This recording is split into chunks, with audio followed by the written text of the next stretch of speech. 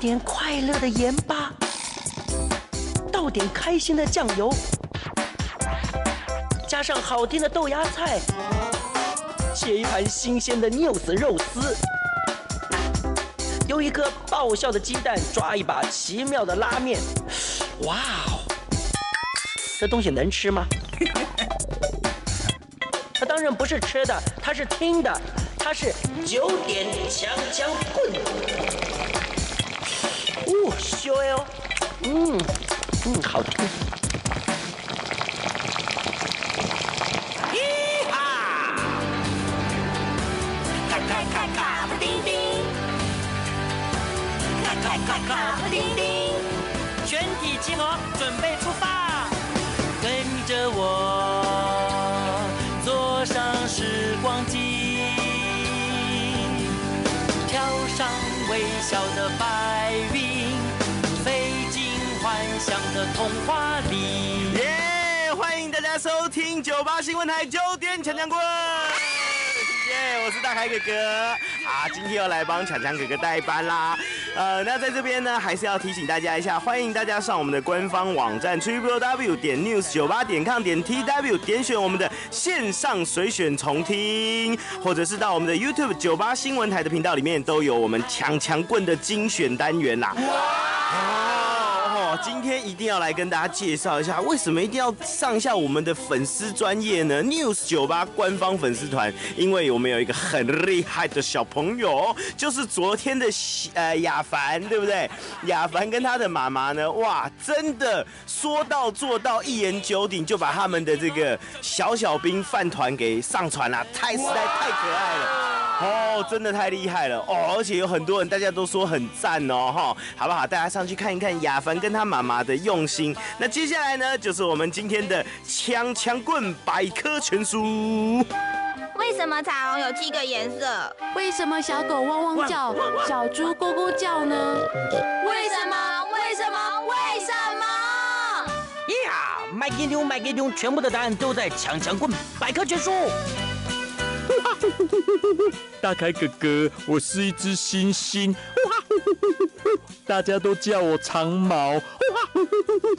我每天都喜欢抬头看天上的星星。大凯哥哥，那天我又抬头在看星星的时候，看着旁边弯弯的月亮，突然又想到一个问题耶：如果没有月亮，我们地球会怎么样啊？哇今天要请大凯哥哥来帮忙回答一下了。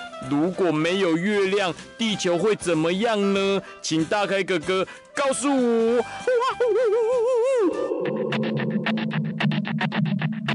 哇哇呜！现在呢，泰哥哥就来回答我们长毛猩猩问的这个问题。嘿，如果没有月亮的话，地球它会怎么样呢？哇哇呼！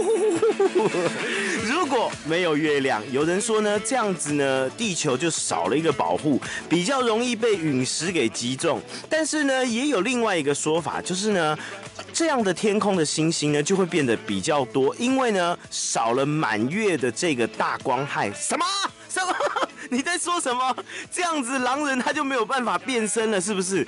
哎，哇呼呼哇呼！这样子我们是不是在中秋节也没有办法烤肉？因为我们没有 因为我们没有月亮，就没办法烤肉嘛，对不对？到底会怎么样呢？我们一边听这一首猫王的《Blue Moons of》呃，怎么 Kentucky 的肯达基的蓝月，一边回答给你听，好不好？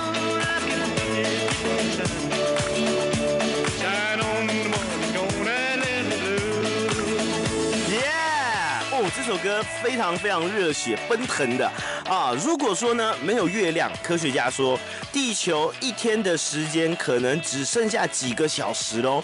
哎，这个怎么跟大海哥哥想的不太一样？我想说呢，假如没有月亮的话，那白天是不是就会长一点呢？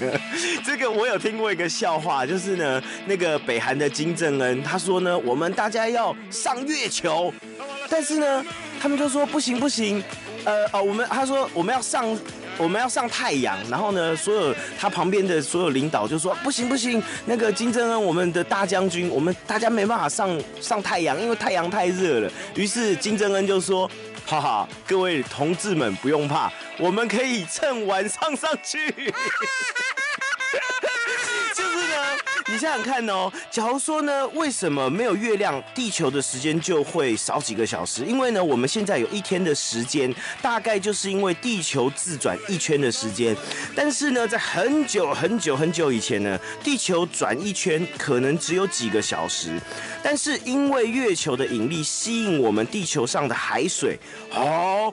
就是这个，就是我们在说的潮汐涨退，就是有涨潮、有退潮的现象。但是呢，因为潮水不断的摩擦地面，地球于是呢越转越慢。这就好像是脚踏车的刹车皮夹住了转动的车轮，让车子的速度慢慢慢慢的慢下来。所以呢，靠着月亮引起的潮水，花了数十亿年，慢慢的磨呀磨呀磨呀，才变成我们现在一天有。二十四小时的时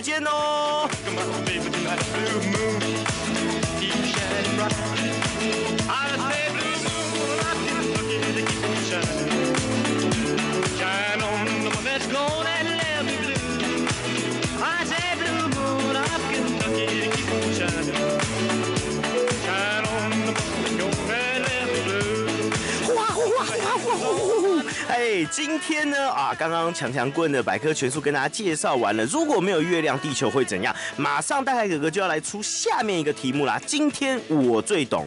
哎，刚刚的题目是月亮嘛？讲到月亮，今天要问你的是哦，这一题，哼，相当有难度，赶快 Google 大师一下，在罗马神话当中的月神，请问一下是下列哪位女神？一雅典娜，二。戴安娜，三维纳斯，四哈马德律阿德斯。哦，想要知道的赶快扣印进来，我们的电话号码八三六九三三九八。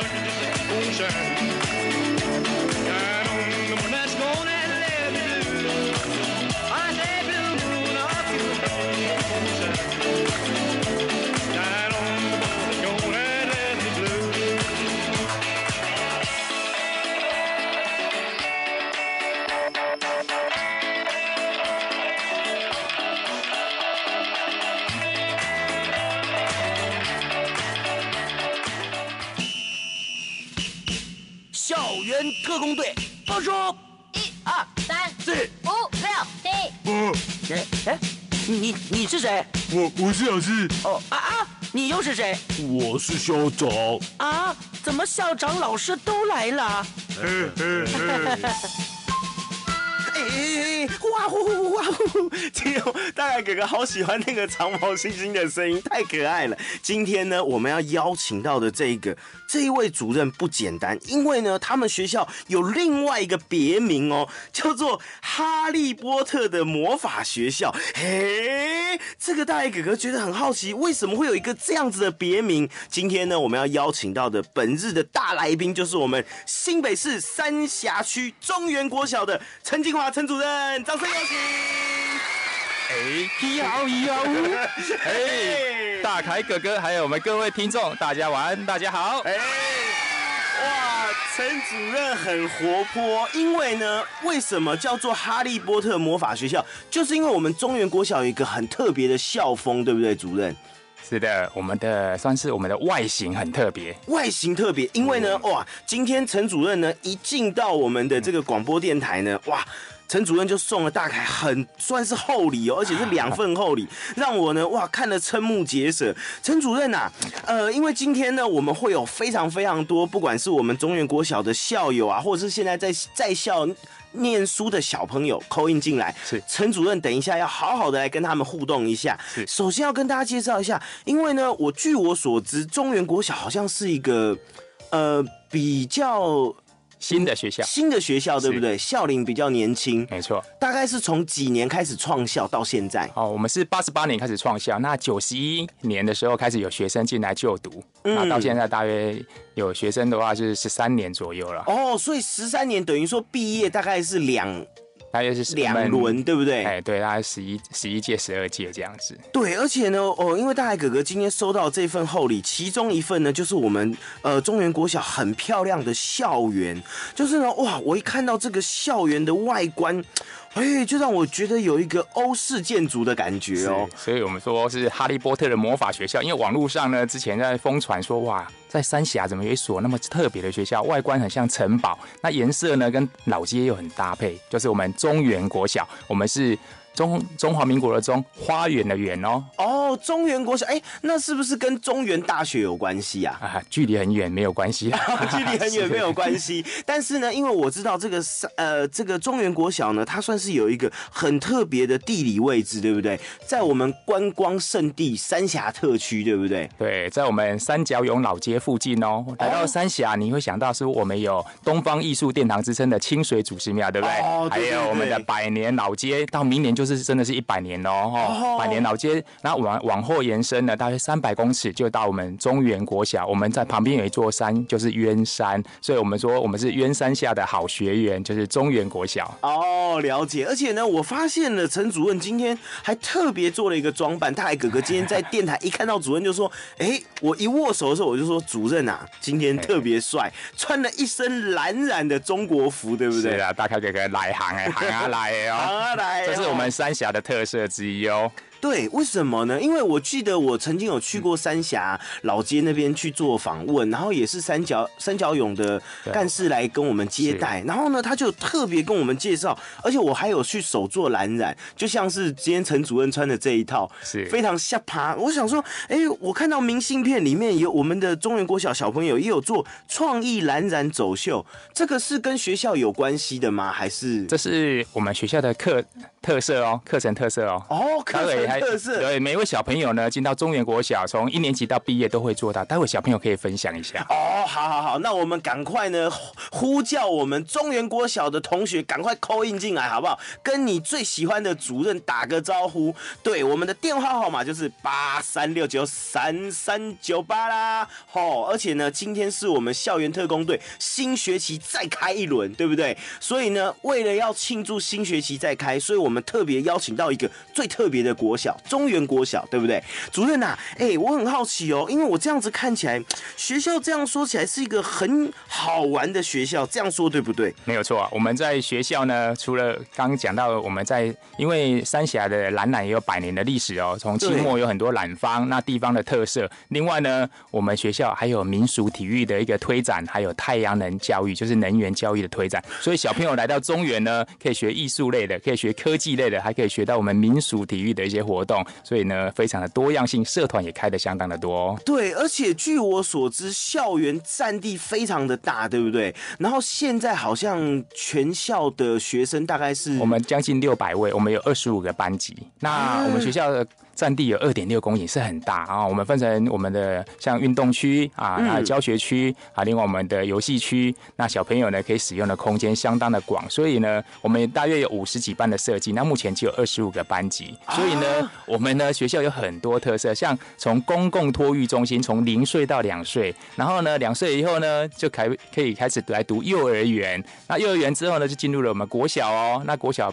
之后晚上也很热闹，我们还有补校，哦，让我们新住民朋友或是阿公阿妈来学习读书写国字。然后呢，另外呢还有很特别，就是有一个乐龄中心哦，所以我们从零岁到九十九岁，我们的。小朋友、大朋友都爱上中原国小，从早上到夜晚都很热闹哦。哦，这样简单说起来就是一个全龄学校就对了。不管你几岁，只要你有心想要学习，或者是你想要来参与不一样的生活形态体验，都可以到我们的中原国小。哎，主任主任，我跟你讲，现在呢刚刚好，哎呀，有一位我们的好朋友打电话进来啦，詹颖超同学你好，颖超那先。哎呦呦呦！哎呦，尹超是哦，尹超听起来声音很很成熟，是我们的校友，校友是我们舞龙队的队长哦。哎呦，第一任的队长，第一任队长，来掌声先给他鼓励一下，好不好？哇，好，好。哎，尹超，尹超你好。呃，尹超今年不知道怎么呃可可不可以冒昧请问一下哦，大学吗？所以也在三峡区就读吗？还是现在念什么学校？呃，我已经大学毕业了。哦，已经大学毕业了。哦，所以我们从创校到现在已经有大学毕业了，有哇，太棒了！而且呢，尹超今天是第一次扣印进来，对不对？尹超哦，第一次扣印进来，我跟你讲，我们还有特别的欢迎掌声给你。哇！啊，太好看了，哦，就是让我受宠若惊哎。就是要来欢迎你。我跟你讲，你看你一扣音进来就造成这么大的轰动。来，我跟你讲，今日我最懂，今天我最懂。刚刚呢，你算是我们第一优先顺位要答题的，好不好？来来听一下。刚刚那个题目，请问一下，在罗马神话当中的月神是哪一位女神？你有没有心中的答案呢、戴安娜，哎呦，看到的，什么？再说一次，戴安娜，戴安娜是不是正确解答呢？耶！尹超，你太厉害了！你看，你第一个扣音进来，又是好朋友，又是我们中原国小的这个校友，虎龙队的队长，对，又是队长，对不对？最有精神了，可以获得我们抢强棍的精美礼物。哦，太厉害！主任啊，跟尹超，我刚刚哦，特别是在讲到这个舞龙队嘛，对不对？是的。尹超，可不可以跟我们分享一下？因为据大凯哥哥了解呢，现在舞龙队已经演化成不一样的龙了。哦，我们哦，对啊，因为我们像中原国小就有推广所以夜夜光龙嘛，哦，一间教室它全部都是漆黑的，然后透过荧光灯管，那个龙就会在你眼前发亮。但是因为我们穿表演的人都穿黑色衣服，所以你你都不会看到表演的人，然后就看到一条龙在空中上飘来飘去。哇，栩栩如生就对了，在一个全黑的房间里面，就看到一只龙这样子灵光乍现，哇塞啊，做神龙摆尾的，飞舞的动那个表演动作。嘿，太厉害了哦！所以那尹超，我好奇，请问一下，在你在就读中原国小的时候，那个时候就有夜光龙吗？对啊，我们是第一届的、啊，我们嘿，这么厉害，你们是第一届的我们九十二年、九十三年就成立夜光龙教室了，哦，哇，算是独步全台哦，算是很早，没有错，可能是第一。真的哦，好厉害哦！来来，掌声欢呼一下，太厉害了！而且那毕业之后还继续到其他学校推广舞龙，哦这是让我觉得还蛮佩服的。所以尹超，你现在还有在参加舞龙队吗？这样子，请呃，问一下。现在就当教练，就有在永永福国小教舞，大谢永福国小教舞龙。哦，真的太厉害了！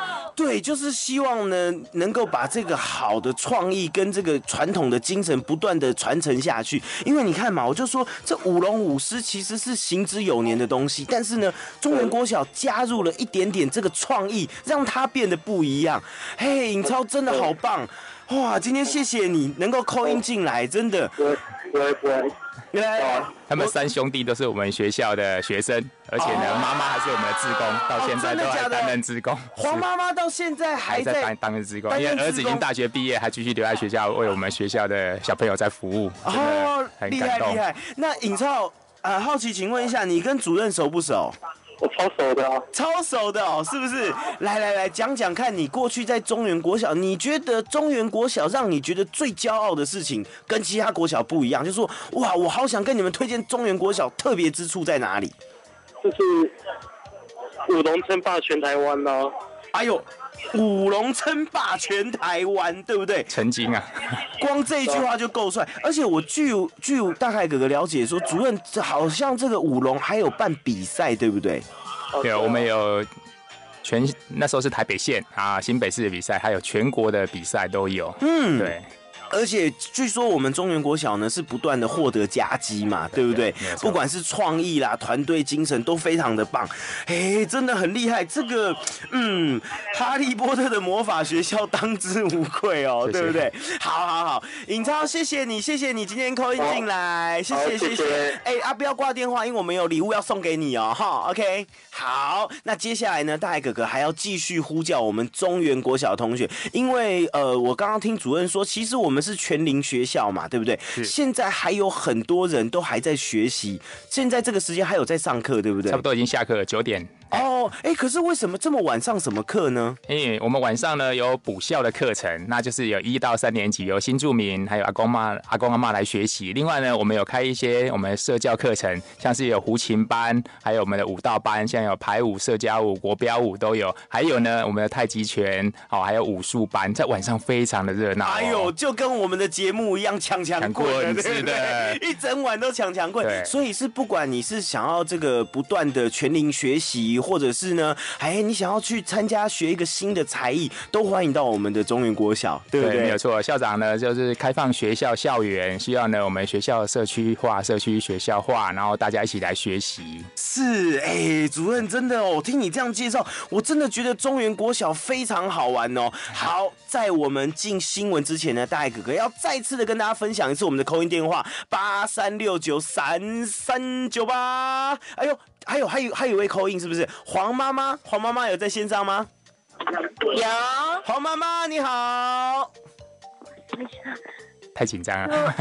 那个主持人好，主任好。哎，好妈妈，好妈妈想请问一下，你们是家里面的小朋友在读中原国小，还是你现在本身在？一一个已经中原国小毕业，现在是国二了，国三了，还有一个现在是小二。哦，好棒好棒！所以现在是小二。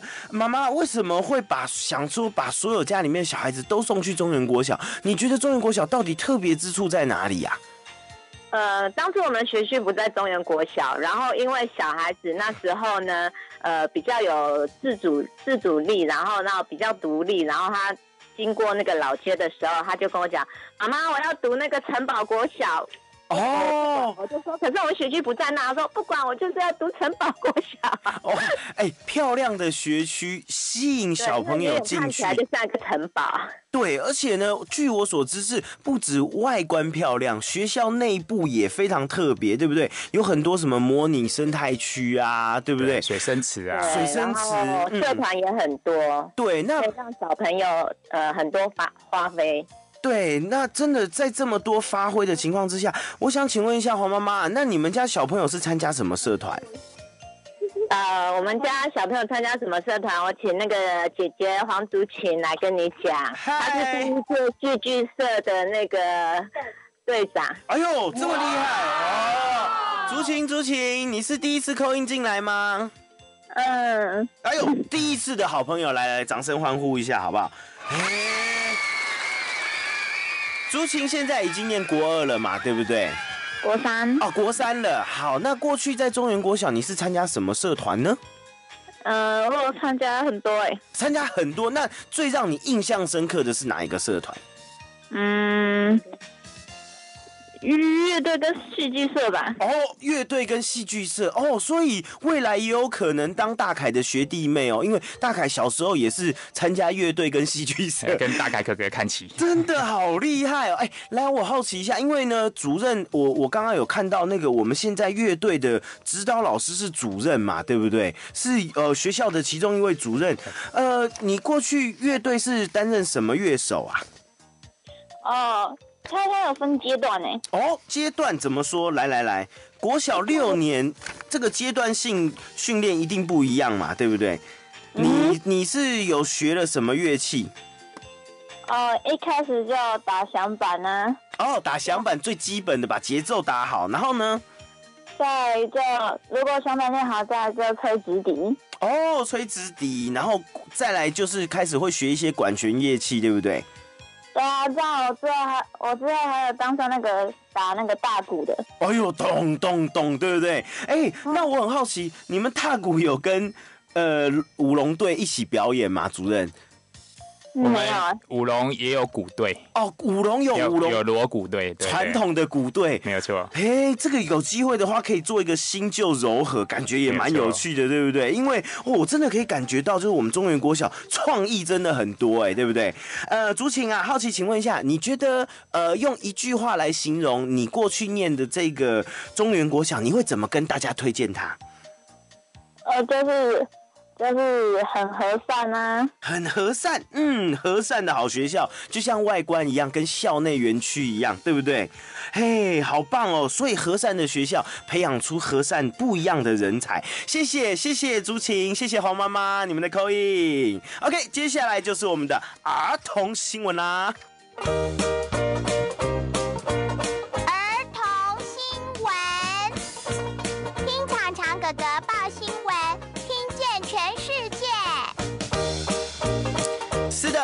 接下来呢，来跟大家分享一下我们二零一五九月十号的儿童新闻。屏东县政府为了建构校园周边的健康饮食环境，从九月一号开始呢，就由卫生局与教育处共同推派专业营养师，辅导三十三乡镇的这个早餐店、超商，推出六十六套的健康早餐。哇，六十六套早餐每天都要吃的话，至少要吃个两个多月哦，对不对？而且呢，屏东县教育处资料显示呢，县内的国中、国小近三成的学童有体位过重及肥胖的情形啊，就是跟大哥哥一样啦啊，稍微有稍微啊那个体重控制的问题哈。不过呢，因为这个比例太高了，所以呢，为了要提供我们同学呢热量不超标的早餐，在不扰民的原则之下呢，卫生局与教育处共同推派专业的营养师辅导业者来推出这个套餐组合，希望大家都能够吃的健康啦，有有活力，学习才会进步，好吧？接下来第二则儿童新闻哦，这个儿童新闻跟大海哥哥算是有这个切身关系，有三位红鼻子小丑医师呢，最近现身我们台大儿童癌症病房，带着简单的乐器以及逗趣的打扮，穿梭在各个病房内，为所有的小朋友打气，也为紧张的家长呢释放心情。因为呢，啊，小朋友生病，爸爸妈妈总是特别的紧张嘛，而且呢，他们这个非常特质化的这个即兴表演呢，也疗愈了小孩子的心灵。小丑医师的概念呢，源自于美国，并且呢，在欧美流行。法国呢，他们还成立了微笑医生协会，就是呢，将小丑表演带进了儿童病房。而台湾的沙丁庞克剧团的总监马兆琪姐姐，去年呢就前往了法国巴黎，在微笑医生学协会呢接受了将近六个月的小丑医生的课程训练。哎，为什么我刚刚说跟我有贴呃这个切身关系？因为呢，马兆琪姐姐呢就是大凯小时候在念大学的时候，哎，我们的那个肢体课程的老师 非常非常专业，而且他的默剧呢栩栩如生，非常生动。所以呢，马兆琪姐姐呢在今年就成立了红鼻子的医生协会，首度与台大医院合作，将欧美的模式呢导入我们的儿童癌症病房。掌声给他们鼓励一下。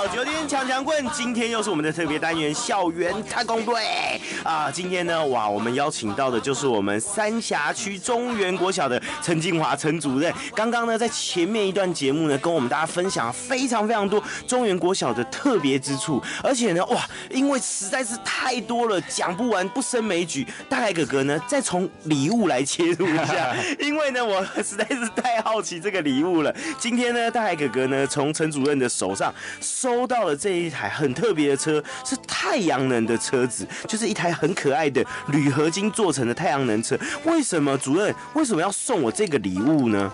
哇，因为呢，我们有算是全国啊很完善的一个能源教室。那我们呢推广能源教育呢，当然太阳能是其中一环啦、那在教室里面呢，我们会介绍我们的各种我们的自然的一个发电，哈，像我们的水力、风力，啊，我们的太阳能发电这些都会介绍到。那本身呢，我们学校也是做到低碳的一个校园。那我们曾经哈在二零一零年还有二零一四年呢，都获得我们全国绩优能源学校这个评选的杰出奖，这是经济部所颁的一个奖项哦。哎，那为什么当初在就是在这么多年前，在设计校园的时候，就已经考虑到节能减碳这些。哎，现在的校园哦，都是我们走向绿建绿建筑，然后呢，我们希望达到。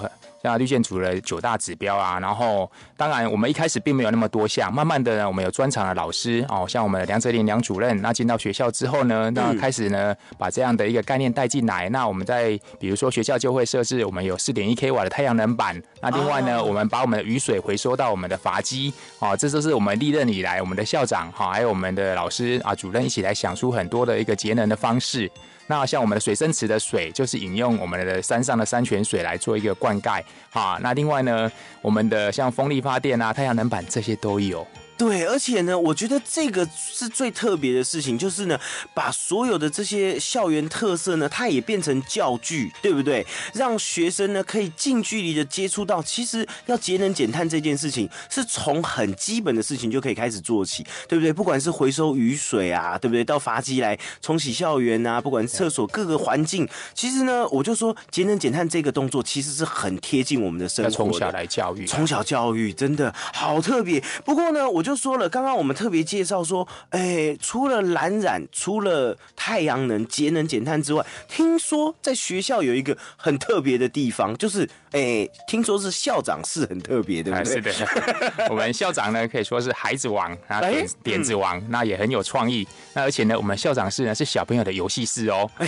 怎么会？怎么会？这尤其是低年级小朋友呢，特别喜欢到校长室来躲猫猫，来玩民俗的童玩哦。哦，真的是小朋友可以进。校长室，没错，这里是很热门的哦。一打钟，那小朋友就冲到校长室，然后就。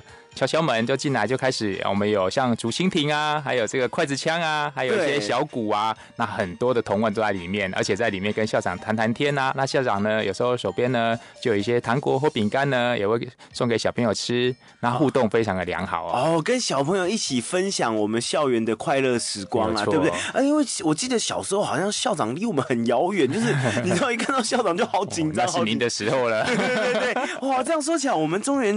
中原国小真的是一个气氛很棒的学校哦，没有错啊。那个校长带领着我们同仁，那跟小朋友还有我们家长、职工，那我们一起来经营学校，对，打造一个最有趣的校园。那在这边呢，还要提醒一下，哎，我们的扣音电话号码八三六九三三九八，赶快扣音进来啦！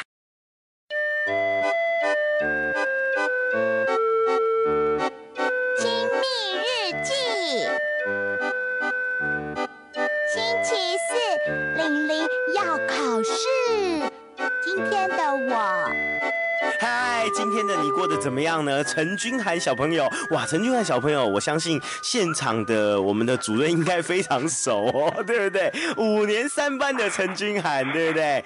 听说今天是第一次扣音进来，我们先给你一点掌声欢呼，好不好？来来来，哦，好热烈，好热烈，主任。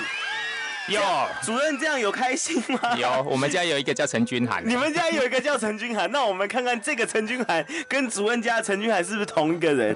呃，君涵你好。你好。哎，呃，陈主任是你爸爸吗？嗯。哎，你好你好。哎呦，在空中相会，对不对？来来来，君涵跟大家分享一下，今天你的心情怎么样？听到爸爸在这个广播节目上面分享他的工作跟他的学校，你的感觉怎么样呢？嗯，没有怎么样。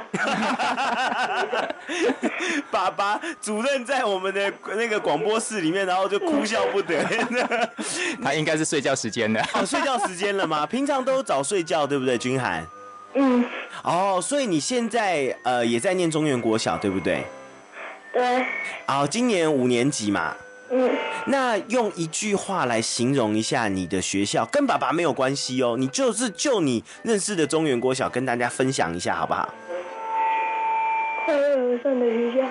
什么什么的学校？快乐。快乐的学校。还有什么？多元哦，快乐多元的学校，就像主任说，哎，这个算是打亲子牌哦，对不对？主任跟女儿算是这个有志一同啦，大家的看法都一样。谢谢君涵，谢谢你的 call in，好不好？拜拜，赶快早点休息，晚安。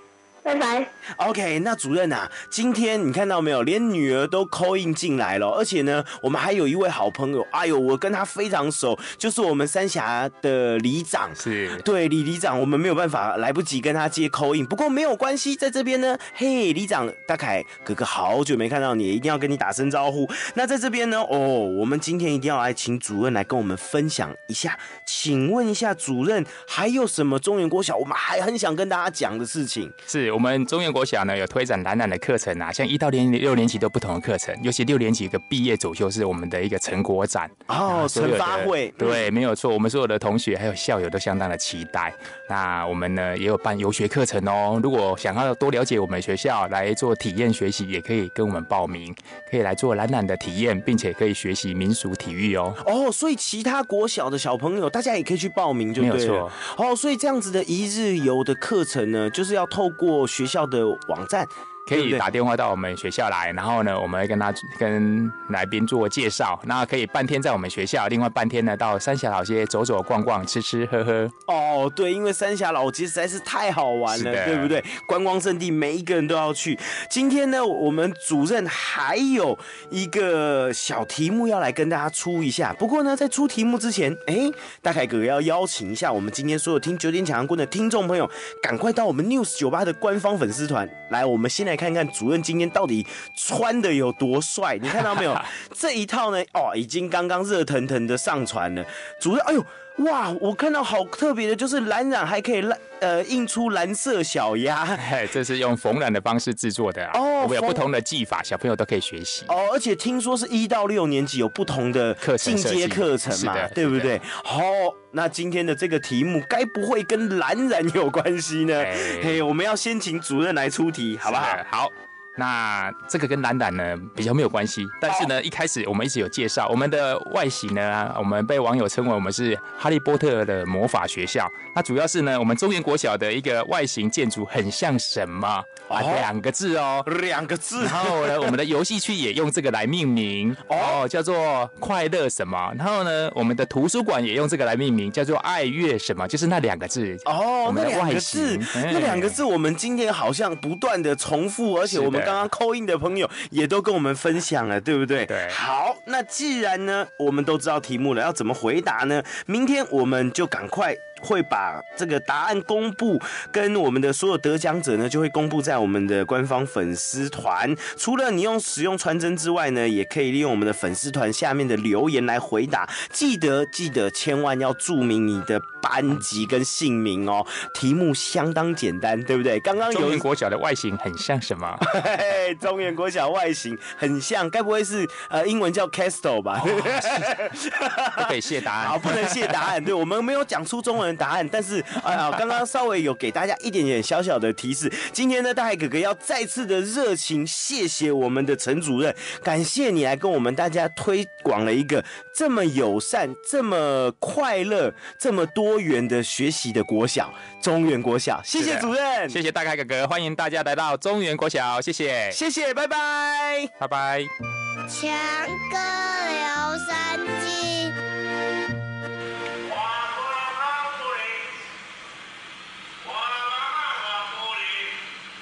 这是民国九十三年六月二十八号下午三点多，在台北大同区巷子里修理纱窗纱门的喇叭放送声。你有没有碰过这样的事情哈？平常觉得呃常常看到的东西，等你真的要的时候，怎么找也找不着。那天强哥的纱窗被老鼠咬了个洞，就记得我们家附近有个可以补纱窗的店。要不然我也就是一定听过在修理纱窗、纱门这种喇叭声呢出现在我们家附近，所以呢，我就骑着摩托车啊、到处绕去找救兵来帮忙修理纱窗。奇怪了，绕了好久，找了大半天，店没找到，喇叭声也没听到，强哥只好回去用胶带先把洞封起来。三天之后，朋友帮我把纱窗修好了。正当我们呢走出门，巷子里就传来修理纱窗纱门的喇叭声。那更妙的是，在我家对面路上就看到那间补纱窗店的招牌。